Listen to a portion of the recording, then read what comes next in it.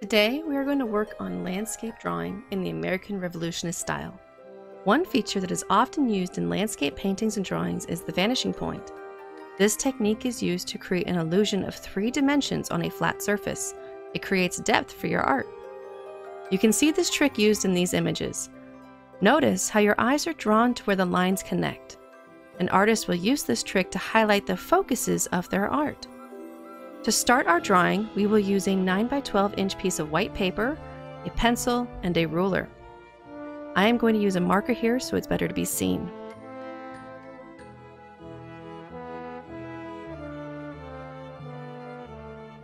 With the paper in the horizontal position, draw a wavy horizon line about one third of the way down from the top of the page.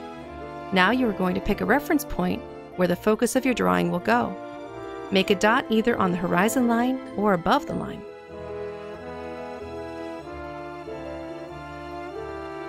Holding a ruler against the dot, draw lines to segment the bottom part of the paper, below the wavy line, moving the ruler across the page to make successive lines. Always keep one end of the ruler next to the dot and the other end of the ruler moves across the bottom of the page.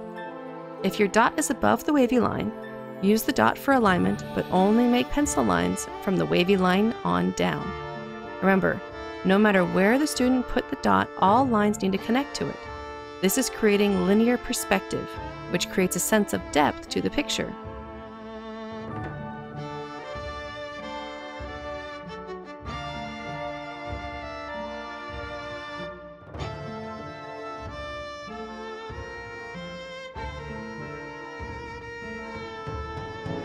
Next, use a pencil to freehand further divisions horizontally to the stripes, and add simple trees, bushes, and or farm structures to the top.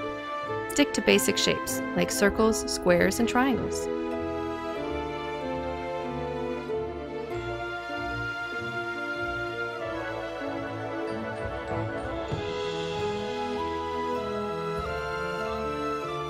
Now color in everything, including the sky, using colored oil pastels, to create patterns within the segmented landscape.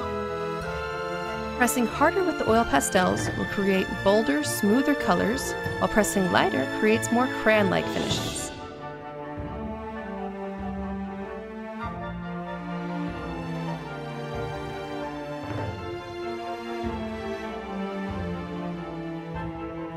The very last step is to use that black oil pastel to go over all of your pencil lines. Be sure to outline the main segments of your landscape, then outline any other details as desired. This is an important step to do last because the black will mix with the other colors if you don't do it last. Also, it brings the whole image together at the end.